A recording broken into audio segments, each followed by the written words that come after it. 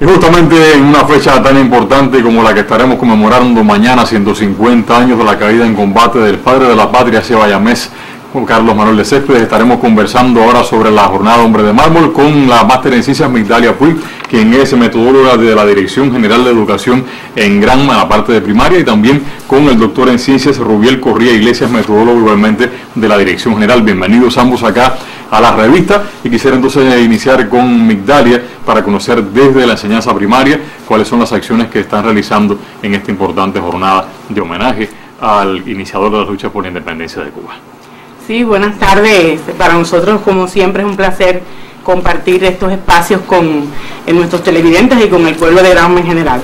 Decirte que eh, en la educación primaria, que es bastante representativa en nuestra provincia, se desarrollan diversas disímiles actividades en, conmemoración al 150 aniversario de la caída en combate de Carlos Manuel de Céspedes y al 205 aniversario de su natalicio, que durante todo el año vamos a estar desarrollando.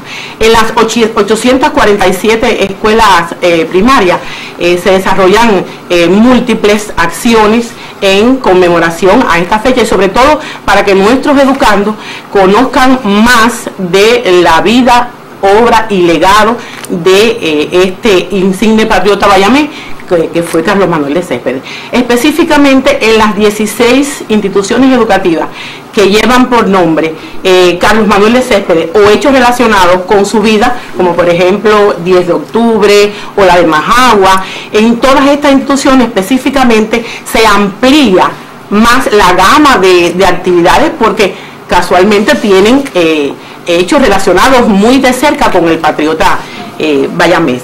Eh, específicamente aquí en Bayamo tenemos dos instituciones, que es el semi-internado Carlos Manuel de Céspedes y eh, la escuela primaria José Antonio Saco, que como bien conocemos fue el antiguo convento de Santo Domingo donde estudió el padre de la patria. Entonces, en estas dos instituciones, en el día de mañana, que se han desarrollado hasta el día de hoy diversas actividades, pero en el día de mañana, en conmemoración al 150 aniversario de la caída en combate, pues estarán las actividades centrales de Bayamo en función de eh, toda una eh, amplio conocimiento por parte de los profesores, de los maestros, de los trabajadores en general, de la familia y de los, de los niños, de eh, la vida y obra de Carlos Manuel de Céspedes. Específicamente se desarrollarán matutinos especiales esto va a ser en todas las instituciones educativas de Granma, pero con énfasis en aquellas que llevan este, el nombre. También eh, se lanzará el concurso de eh, literatura y plástica infantil Creador de la Patria, donde los niños expondrán toda su arte en función de rendirle homenaje a tan insigne figura. También la biblioteca escolar va a realizar exposiciones de libros, de láminas, de fotos, de figuras relacionadas con estas efemérides y no solamente con Carlos Manuel Céspedes, sino también con todos aquellos patriotas que lo acompañaron en esta en su obra inmensa y en el legado que nos ha dejado. específicamente también vamos a estar eh, entre el día de hoy y hasta el día 29 de febrero se estarán eh, constituyendo las cátedras espedianas en las instituciones educativas. Esas sí son en todas aquellas.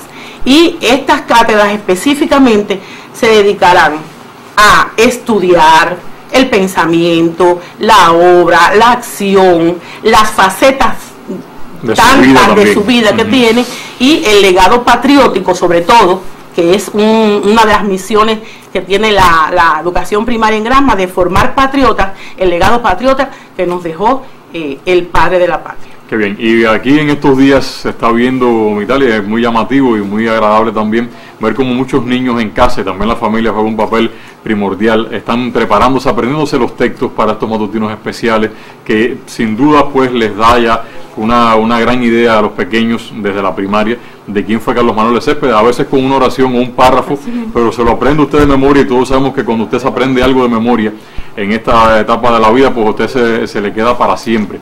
Todavía usted dice, bueno, me acuerdo cuando hice un matutino, cuando estaba iniciando en tercero, en cuarto grado, y dije aquella frase y uno lo recuerda con mucho cariño, por eso me parece muy bueno que esta enseñanza donde los niños están eh, iniciando un número de conocimientos importantes y de valores, pues asuman este conocimiento del padre de la patria. Recomendamos a la familia que apoye mucho a los educandos en estas primeras edades, porque es aquí donde sembramos todo ese arsenal de emociones, de vivencia, porque la historia de la patria y la historia de los héroes la, formamos así, a través de anécdotas, pinceladas, dibujos, lecturas de, cuentos, eh, exposiciones de diferentes materiales. Eh, es muy importante los círculos de interés que se han creado en las instituciones educativas sobre el padre de la patria. Aquí en el cementerio Carlos Manuel Césped hay uno que lo hemos apreciado en varias ocasiones, muy bueno, te despierta una emoción tan grande ver cómo los educandos son capaces de hablarte hasta de datos que a veces otras personas desconocen del padre de la patria, porque también no podemos eh, ver a estos héroes como personas inalcanzables tenemos que ver a esta, a esta figura, a, a, nuestro Perucho, a Carlos Manuel de Céspedes, a todos los demás patriotas, como personas que amaron, eh, se divirtieron, bailaron, fueron jóvenes, actuaron, eh, cantaron, actuaron, cantaron. Exactamente. Fue deportista Fue deportista, fue músico, fue poeta, fue escribió, escribió numerosos poemas muy bellos, que también esta es una de las actividades que vamos a, a fomentar, ver a Carlos Manuel Céspedes desde otro momento de su vida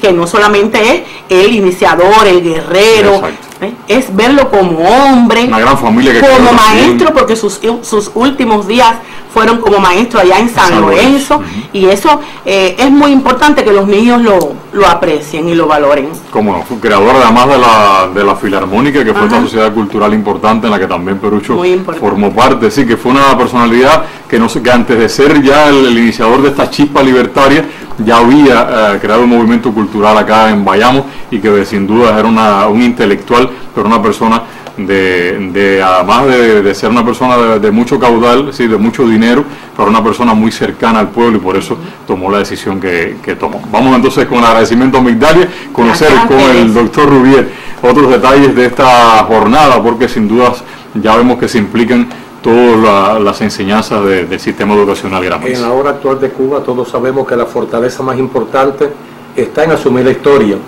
y dentro de la historia pues desempeña un papel trascendental el padre de todos los cubanos. Y decir que la Dirección General de Educación en Granma hoy está protagonizando un sistema de actividades para rendir homenaje y sobre todo porque el concepto clave está en conmemorar. ¿Y qué significa conmemorar para los cubanos? Si no llegar al corazón con lo que hagamos y con una intencionalidad. Es por eso que dentro de las principales actividades, como expresó Migdalia, está en la creación en cada una de las instituciones educativas de las cátedras cespedianas. Siempre nos llaman, siempre nos preguntan.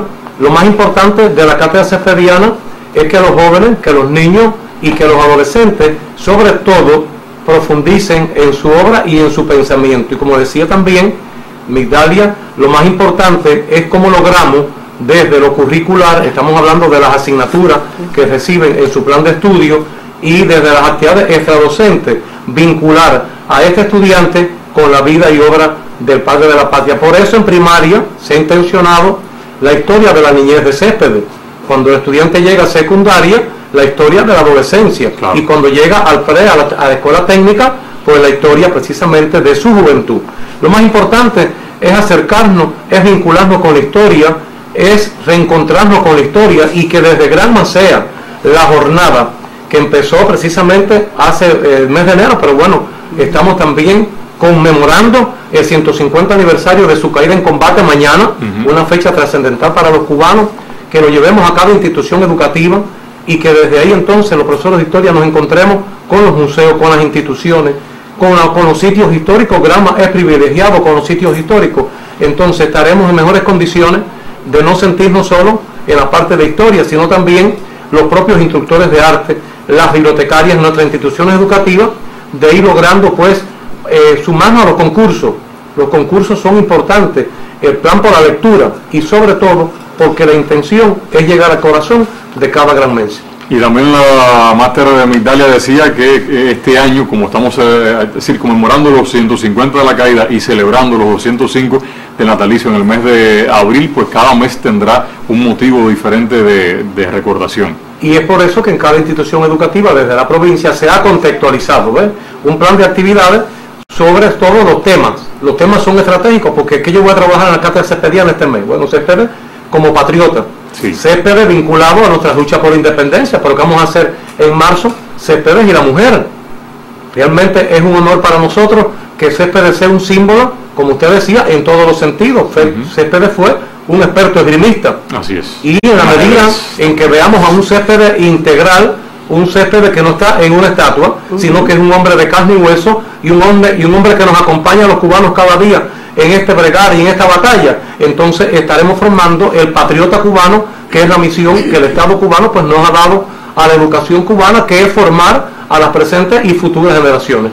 Y tenemos allí una casa natal que sin duda es un símbolo eh, de obligada visita acá en nuestra ciudad de Bayamo. Usted llega a Bayamo y tiene que pasar a la casa de céspedes porque allí con toda la savia que tienen su- sus especialistas y también con la gran conservación que han logrado del inmueble que data justamente del siglo XIX, pues entonces podemos también tocarlo un poco más de cerca estas facetas de su vida. Y por eso hoy precisamente la cátedra cespediana de la Dirección General de Educación en horas de la mañana la constituimos oficialmente para Cuba. Es un honor, es un símbolo tener al padre de la patria.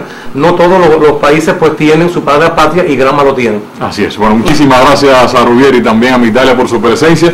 Pues entonces que se desarrolle como siempre se hace con toda la calidad en los centros educativos Gran Mesa y más en este año aniversario cerrado. Usted no se vaya porque tenemos mucho más para compartir.